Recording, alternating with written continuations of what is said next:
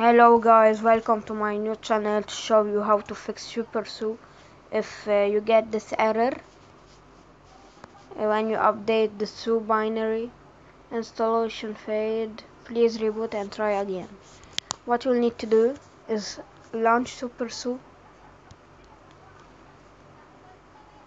and go to settings scroll down to reinstall and so when you reinstall uh, the SuperSU your device will reboot first and SuperSU will be uninstalled so you will go to Play Store and reinstall it after rebooting your device. So you will not get any error and it works perfectly so you can regrant all root apps and others. Thanks for watching guys. If you have any questions ask them on in the comments and bye